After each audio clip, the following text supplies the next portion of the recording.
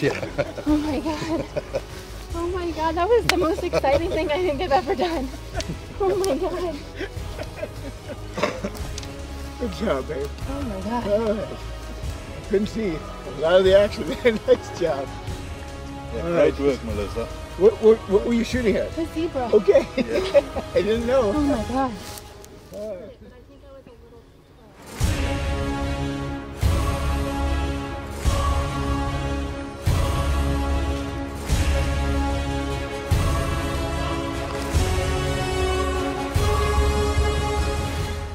Well done, man.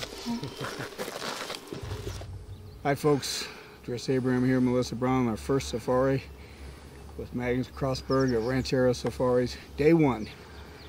Long stalk this morning, walk through the bush, walk through the bush, traditional African hunting, and Melissa's one goal, flying 16 hours here across the ocean was to get a zebra, and she did this on the first day, first morning. And uh, it's hard to see Melissa get excited in public too much, but she was shaken and happy and used our new gun and I'll tell you we have been treated like kings here. And uh, it's just an amazing place and we're just getting started so stay tuned for more adventures